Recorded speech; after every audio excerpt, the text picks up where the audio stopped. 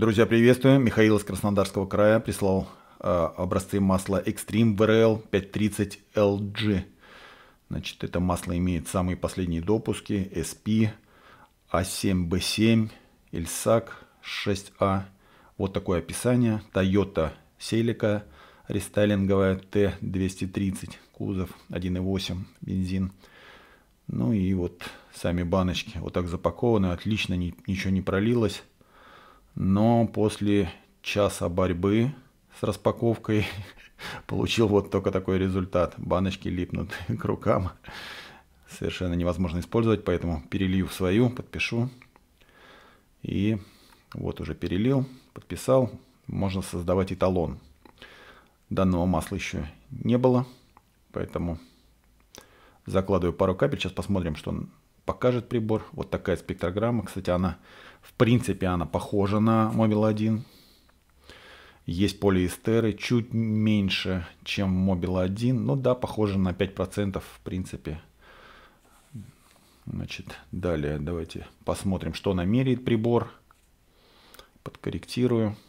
И можно приступать к проверке отработки.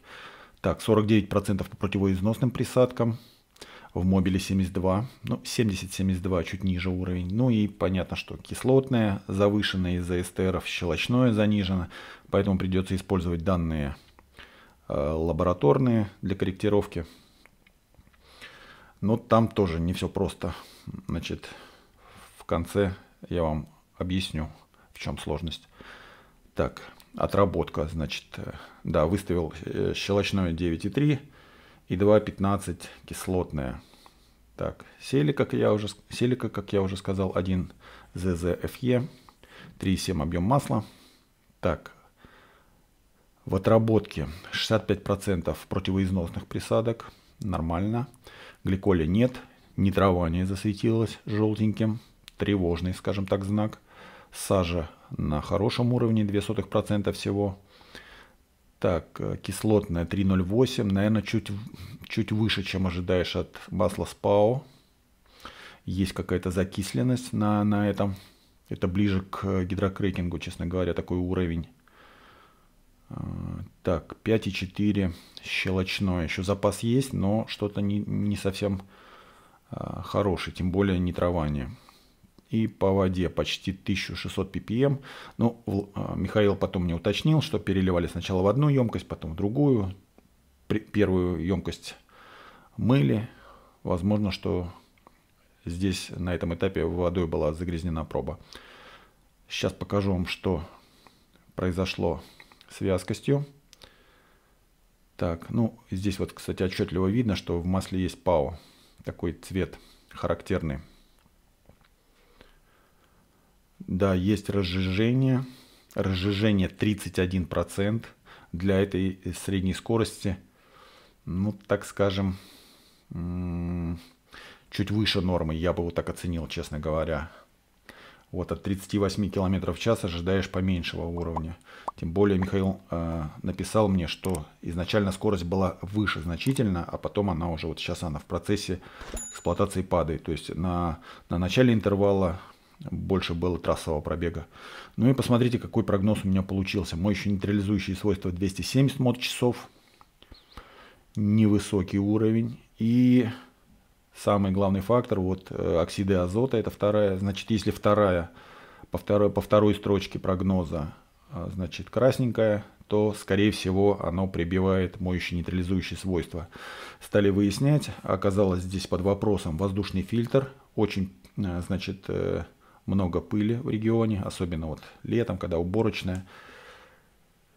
Э, и второй момент, что Михаил обнаружил, у него был, э, не работал клапан вентиляции картерных газов. Вполне вероятно, что это очень сильное влияние оказало, тем более, что на начале интервала была средняя скорость высокая, выше, чем 38 км в час.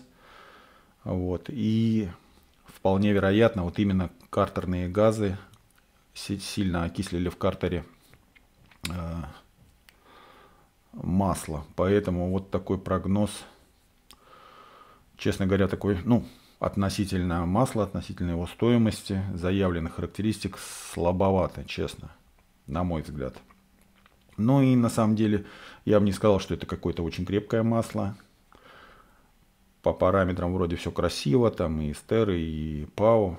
Вот. Но дельта между кислотным и щелочным, да, кстати, стоит вернуться к этому. Я выставил щелочное 9,3. Вот. Э, это ГОСТ для свежего. Прибор коррелирует с ГОСТом для отработки, а между ними полторы единицы. То есть на самом деле корректнее было бы выставить 7,8 здесь признаю. То есть я еще и завысил чуть-чуть. Вот. А по кислотному лаба намерила 1,54, но я как бы честно, вот хоть, хоть меня убивайте как, я в это не верю. Э, я от, отталкивался примерно от уровня Mobile 1 ESP. Ну, может быть, завысил на, там, на 10-15 сотых. Вот, но никак не 1.54. Не верю я в это.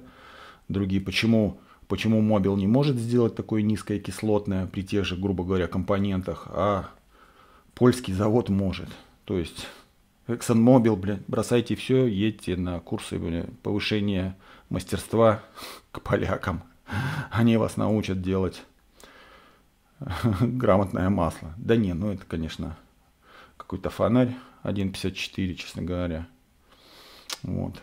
Может быть, конечно, я ошибаюсь в чем-то, но не знаю. Хотя здесь, да, если учесть, что уровень противоизноски чуть пониже, вот, наверное, корректнее было бы указать 1,9. Но разница не такая уж большая. По кислотному 0,25 сотых, ну, не дало бы там дополнительное. Тем более, если бы выставил щелочное 7,8, то результат бы, скорее всего, был даже пониже. Вот такой, к сожалению, тест.